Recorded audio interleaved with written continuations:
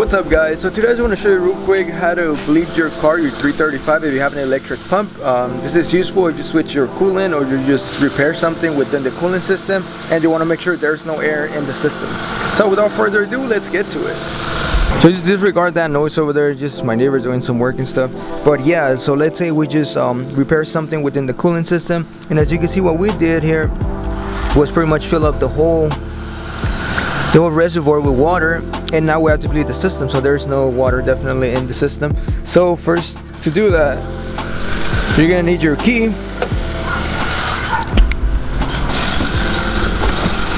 And here inside the car we go ahead and insert the key.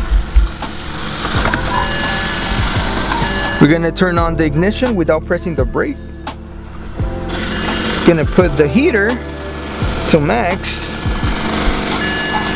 like so. Okay, take out your key. We're gonna redo it again, but now when we're doing this, we're gonna press the accelerator to the max. So let's do that. Put the key in the ignition. Like so, leave it pressed for about 10 seconds. One, two, three, four, five, six, seven, eight, nine, ten. Okay, so as you can see, the system's now bleeding itself and there's gonna be bubbles coming out and stuff. So you just leave it like that for about 10 minutes and it should be good after that. You could just cap it or and fill it up if it needs more.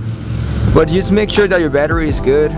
Uh, you don't want to obviously run out of battery during this process. And yeah, that's pretty much it. I know there's some people also that go ahead and press on the and all these hoses that are coolant related because you can see once you press it some bubbles come out. That's up to you if you want to do it that way. But yeah pretty much just wait and you should be good to go